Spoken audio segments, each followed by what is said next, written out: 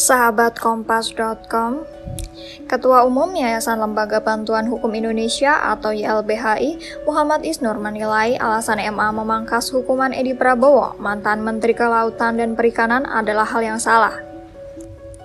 MA beralasan pemotongan hukuman ini karena kinerja Edi selama menjadi menteri.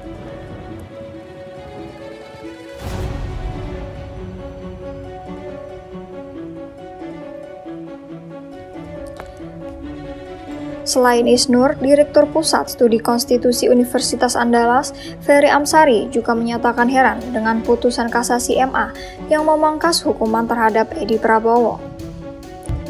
Ia menilai seseorang yang telah melakukan tindakan korupsi dirasa sudah menyimpang dari pekerjaan dan tugasnya. Ferry juga menyatakan bagaimana mungkin seorang koruptor mendapat sanksi yang ringan hanya karena alasan kinerja yang baik. Majelis Kasasi memangkas hukuman Edi dari 9 tahun penjara di tingkat banding menjadi lima tahun penjara. Alasan Hakim Kasasi tentang kebijakan pemotongan ini karena Edi dirasa mesejahterakan nelayan kecil dan mendorong masyarakat untuk membudidayakan lobster. Insur juga mengatakan putusan EMA terhadap Edi tidak menunjukkan semangat yang sama dengan Undang-Undang Pemberantasan Korupsi, sebab undang-undang tersebut menyebutkan bahwa korupsi merupakan kejahatan yang serius.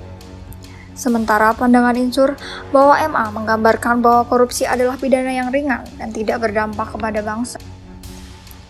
Menurutnya juga, seharusnya MA memperberat hukuman pidana kepada Edi di sisi lain, MA juga mengurangi pencabutan hak politik Edi menjadi dua tahun.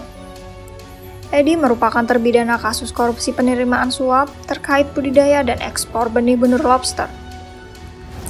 Selain hukuman penjara, Edi juga dijatuhi pidana penggantian senilai 9,68 miliar dan 77 dolar Amerika. Politikus Gerindra itu lantas dijatuhi hukuman lima tahun penjara oleh majelis hakim. Hukumannya kemudian diperberat di tingkat banding menjadi 9 tahun penjara sebelum akhirnya dibangkasi tingkat kasasi.